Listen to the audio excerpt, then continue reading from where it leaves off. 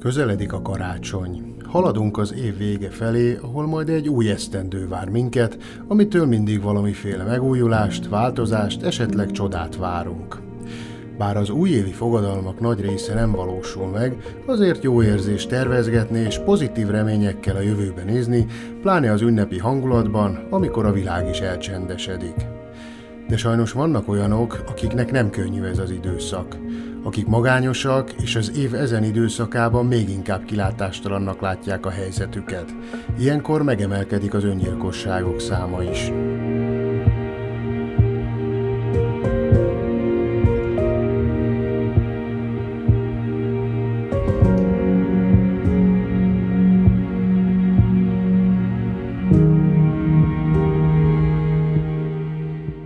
Karácsony a mi kultúránkban a, a szeretet, az összetartozásnak az ünnepe, és ilyenkor nagyon ö, kiéleződik a, a külvilágnak a jelzései, hogy, hogy az adventben heteken keresztül készülünk az ünnepre, van bennünk egy várakozás így a, a, a pillanat, a szeretet pillanatainak a teljes megélésére, és ugyanakkor ö, bent pedig az a, az a szomorúság, vagy az a, nyomott hangulat, az a melankólia van a betegben, a paciensben, akkor ez nagyon, nagyon kontrasztosan jelenhet meg, és tulajdonképpen a kontrasztosságnak, vagy a kontrasztnak az a lényege, hogy felerősítik egymást. Tehát a belső megélése, a fájdalma felerősödik, és az egyedüllét, a magányérzése felerősödik.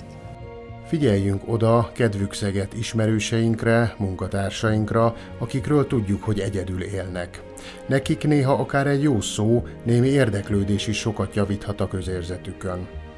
Az elmúlt időszakban népszerűvé vált a jelmondat, miszerint mindent magadért csinálj.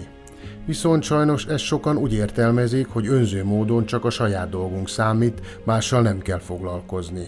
Ezért fordulhat elő, hogy akiknek súlyos lelki problémái vannak, gyakran maradnak egyedül gondjaikkal. De nem csak a magányos embereknek lehetnek pszichés nehézségei, az úgynevezett téli depresszió is gyakori jelenség a társadalomban.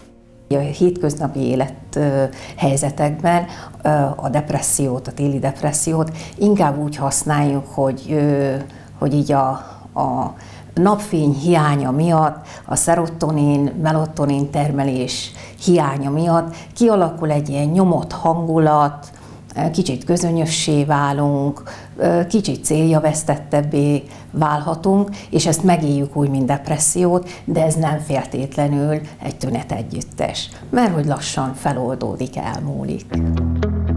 Rendszeres testmozgással, egészséges táplálkozással, szabadban eltöltött programok szervezésével, esetleg recept nélkül kapható gyógynövénytartalmú kedély és közérzetjavítók segítségével könnyebbé tehető ez az átmeneti időszak.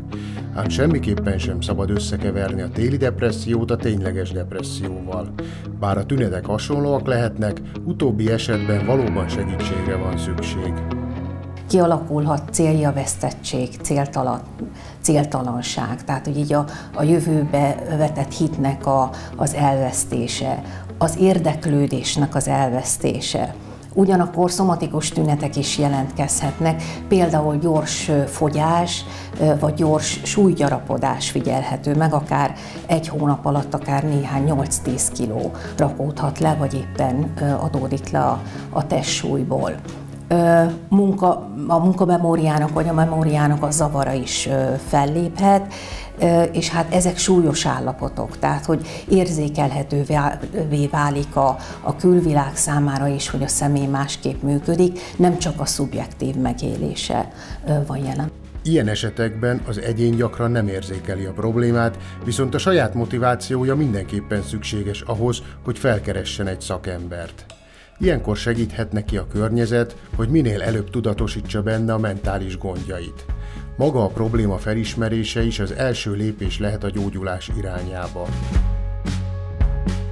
A lelki gondok mögött többnyire nem felnőtt korban szerzett traumák állnak, legtöbbször gyermekkorra vezethetők vissza, amikor még csak formálódik a személyiség, és mindenre érzékenyebben reagál. Már ebben a korban is kialakulhatnak problémák. Ezek jeleire is érdemes odafigyelni. A gyermekkori depresszió tünetei jelentősen különböznek a felnőttkori depressziótól. Nem ezek a, a felsorolt, az előbb felsorolt tünetek jellemzőek, az inkább a serdülőkorban jelenik meg. Például, amire nem is gondolunk, hogy egy gyerek, aki nagyon sokat bohóckodik, és az osztálybohóca könnyen lehet, hogy a háttérben a depresszív tünetek, hogyha utána keresünk, akkor jelen vannak, és valóban egy depresszív epizódról van szó, holott nem gondolnánk, hiszen a viselkedése teljesen más tárul el. A kisiskolások között egyre ritkábban fordul elő fizikai bántalmazás. Az újabb generációknál ezt felváltotta egyfajta verbális agresszió, ami néha fájdalmasabb és maradandóbb tud lenni egy személyiség további fejlődésében. Akár egy jól betalált negatív mondat is komoly károkat tud okozni egy kisgyerek lelkében. Nem, csúfolodnak, piszkálják egymást, idézőjelbe én csak játszottam, szivatások fordulnak elő a gyerekek között, és sajnos inkább az a jellemző, hogy nem veszik észre, hogy igen, valóban fizikailag nem bántjuk a másikat, fizikailag nem érünk egymáshoz, viszont lelkileg ezek a kis játékok, ezek a kis szivatások, civódások, ahogy ők mondják, csicskáztatások, eh, lelkileg a másikra, akit ezek érik, azok nagyon rossz hatással tudnak lenni. A felgyorsult világban, ahol az emberek közötti versengés egyre jobban kiéleződött, a pedagógusoknak sem könnyű minden helyzetet megoldani. A tanulók otthonról a szüleiktől hozott mintái legtöbbször az iskolában csapódnak le, és okoznak konfliktus helyzeteket. Sokszor úgy érzem már, hogy nem is pedagógusok vagyunk, hanem pszichológusnak kellene lenni. Tehát egy, ugye egy alapképzést minden pedagógus kap pszichológiából, a, a, főiskolai tanulmányai vagy egyetemi tanulmányok alatt, de erre egyre nagyobb szükségünk van, hogy, hogy próbáljunk valahogy úgy ehhez hozzáállni, hogy érezzék a, a súlyát is, tehát hogy a tetteiknek van következménye, de meg kell tanulniuk. Tehát, hogy ne csak a büntetés legyen, hanem ennek, ennek legyen valami olyan hatása az ő életükben, hogy próbáljanak változtatni rajta. A tanárok nem csak tanítják a diákokat, hanem személyre szabottan próbálják észrevenni a problémákat is, amiket lehetőségükhöz mérten orvosolni tudnak. Sajnos nagyon sokszor előfordul az, hogy a, a, a gyerek nem kér segítséget, nem mer segítséget kérni. Ö, azt kell elérnünk a gyerekeknél, hogy merjenek segítséget kérni, merjenek beszélni arról, ha ők bármi, őt, őket bármilyen bántás éri, a korábban említett osztálybohóca kisgyerekek esetéhez hasonlóan a bántalmazó személyek viselkedése is beszédes, komoly következtetéseket lehet belőle levonni. Aki bánt, az sokszor ő maga bántást kap valahonnan, és azzal próbálja magát védeni, hogy inkább őt bá- ő bánt, mint hogy őt bántsák. Tehát, hogy mindenki sérül valamilyen szinten, ha az utánunk következő generációk kevesebbet sérülnének, akkor kialakulhatna egy kiegyensúlyozottabb és boldogabb társadalom, ahol a józan ész és az indulatmentes kommunikáció kaphatna nagyobb hangsúlyt. A tolerancia és a megértés tanulható folyamatok. Elengedhetetlenek ahhoz, hogy evolúciós fejlődésünk rengeteg berögzült, de mára már elavult szokását elengedjük és magunk mögött hagyjuk.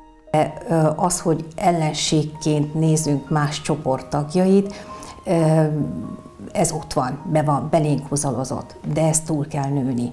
És hogy nyilván a tolerancia a másik ember másságának, más működésének, más ö, külsejének ö, a megmutatkozását, ezt el kell, hogy fogadjuk.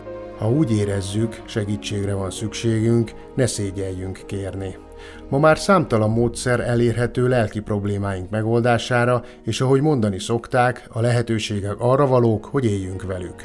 De nem csak az ünnepek alatt, hanem az év többi napján is nagyon fontos, hogy figyeljünk egymásra, és természetesen figyeljünk magunkra.